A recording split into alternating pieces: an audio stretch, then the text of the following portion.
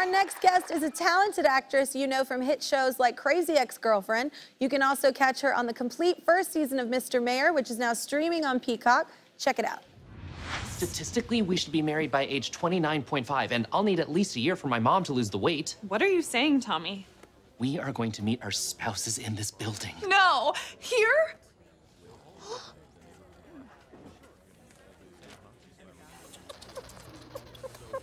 The pool is too small.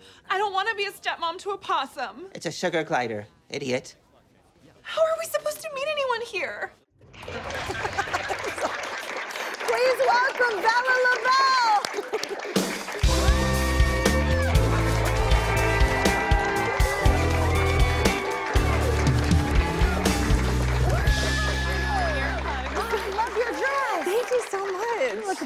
Beautiful. I wish I were as tall as you as well. Okay. No. It's nice to No, I really do. I'm 5'3". Really it's do. nice to meet you. So nice to meet you. that was hilarious, the clip. Is Oh, this just such a fun cast to work with? It's so much fun. Yeah, it's crazy. I, I have to pinch myself all the time because I'm like, oh, it Oh, yeah. feels like TV royalty that I get to work. and I, yeah, and I feel like you just laugh on set probably all day long. Yeah, all the time. I'm always the first person to break too. I'm always Oh. like, I keep it together. Oh my gosh, I, I'm not good at that. Yeah, I had no, to do I'm- SNL one, and I was like, how am I supposed to not laugh right now? That's yeah, like point this is they're trying to make you laugh. Yeah. Yeah, I was this like, is funny. it's hard. I'm gonna laugh. yes, I, I heard something about you though that we, we have a similarity. My mom was single for, for quite some time too and a teacher. Yes. And you grew up with a single I mom for a know. It Yeah. made me feel so. I was like, oh, Kelly gets it. Yeah. Yeah. Well, I get being poor um, because teachers Definitely. make no money. yes, exactly. Yeah, pay Yes. teachers more. and definitely. you watch your mom just kill it. My mom was such a hard worker. Yeah, and like doing a million things at the same time. Multitasking. You also like never get away with anything because there's Oh. no there's no one to be like, well, that parent said no, but what about that parent? Yeah. My mom was like, no. I said no. So where did you grow up? Um, I grew up in Santa Fe, New Mexico, mostly. Beautiful. Yeah, yeah, It's it's a pretty weird town, I have to say. Like, Is it? I love it. I visited. I have love you it. really? Yeah. Oh, amazing. Yeah, I What had did you there. do? I was there because a friend was shooting something, and um, Yeah. and and I was there for that reason. Well, what's so crazy is when I was growing up, I was like, I have to get out of here, which now I'm like, maybe that's more about teenagers than actually about where we 100%. grew up. But um, yeah, I was like, I have to get to the big city. But now, like, all of these film projects are filming in New Mexico, and I'm like, this is so wild. Like, my Yeah. PE teacher is like, works in the film industry now.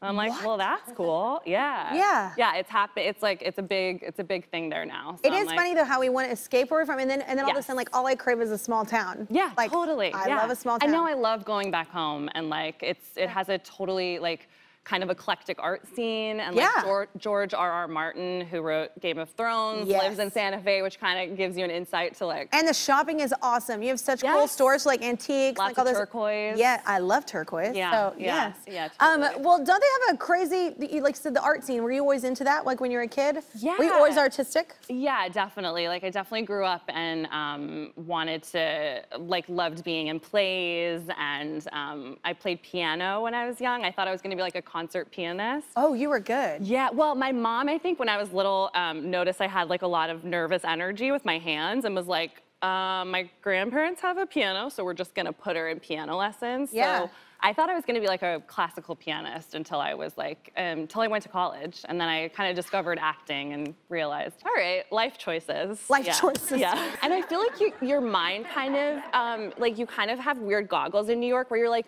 I'm sharing a one bedroom with eight people, but it's amazing. like you're just like, this is such a great deal. And I like, I shower in the sink, but it's so so great. fun. Yeah, yeah. Well, congrats on season two of Mr. Mayor. This is awesome. Thank so, you so much. For everybody that hasn't seen it, can you say who you play? Yes, so I play um, Michaela, and I am uh, Ted Danson's chief of staff, so dream role. Um, and uh, yeah, Ted Danson plays the mayor of LA, who like unexpectedly won to impress his teenage daughter. And I play, I was his campaign manager during the campaign, and then all of a sudden he makes me his chief of staff. So like Michaela is completely out of her depth. She's like never worked in public office before, and she's running the whole administration. So it's a really fun. Terrifying. Yeah, it's terrifying. terrifying. Yeah, totally. like, she, it's it's a fun character to play though because I feel like she's just posing and she's like, I know what I'm doing, but I have no idea what I'm doing. Yeah. So, but I am gonna blow my way through. Yes. I'm gonna fake yes. it until somebody notices. Yeah. Just that's all we do. Yep. Exactly. Yeah, yes. that's what life is, right? um, well, everybody, the complete first season of Mr. Mayor is now available to stream on Peacock. You got to check it out. Yep, I'm still here, just waiting for you to subscribe. If you don't, I'll be trapped in this box forever.